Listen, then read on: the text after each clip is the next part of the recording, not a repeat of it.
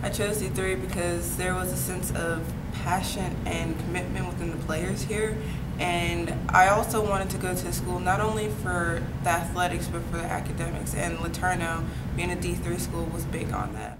My athletic experience at LeTourneau has been pretty good. I've been able to make a family within my team, especially because I'm from Florida, I'm pretty far from home. I've been able to just make relationship with my teammates and a couple my coaches and a couple of the other coaches in the in athletics and it's just been a pretty good experience. Being at D3 school it has molded me into a person who wants to do something other than well accomplish goals other than athletic goals in the future.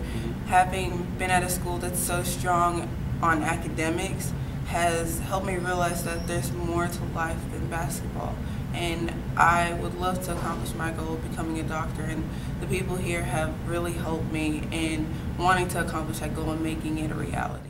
Well, seeing that it is a D3 school and it's a smaller school, I've been able to not only make a family and relationships on the basketball court, but outside of the basketball court. And the people here, being as a small community, they're able to reach out a helping hand and talk, you know, passionately with other people about what they want to do with their lives, and it's just been a pretty good experience. Well, hopefully after the next year, I'll be uh, going to med school, whether I get accepted here in Texas or back at home, and then I would love to pursue my goals of becoming an orthopedic surgeon.